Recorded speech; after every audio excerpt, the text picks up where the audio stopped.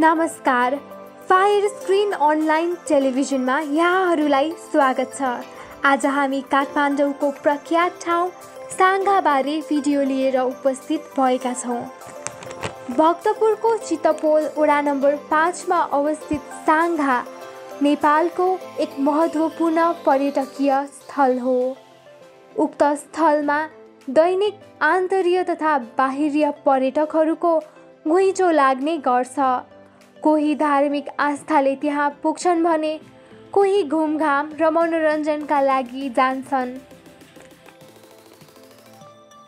महादेवको भव्य मूर्ति निर्माण हुन सुरु भएको सात वर्षपछि बल्ल दुई हजार एघारमा निर्माण कार्य समाप्त भएको थियो।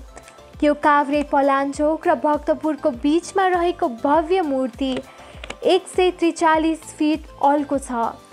भारतबाट आएका हिलटेक कम्पनी प्राइभेट लिमिटेडका अध्यक्ष कमल जैनले उक्त मूर्ति निर्माण गरेका हुन्। उनले सहरको कोलाहलभन्दा पर पर्यटकहरूले शान्त वातावरणमा समय व्यतीत गर्न पाउन् भन्ने उद्देश्यले उक्त स्थल निर्माण गरेका हुन्।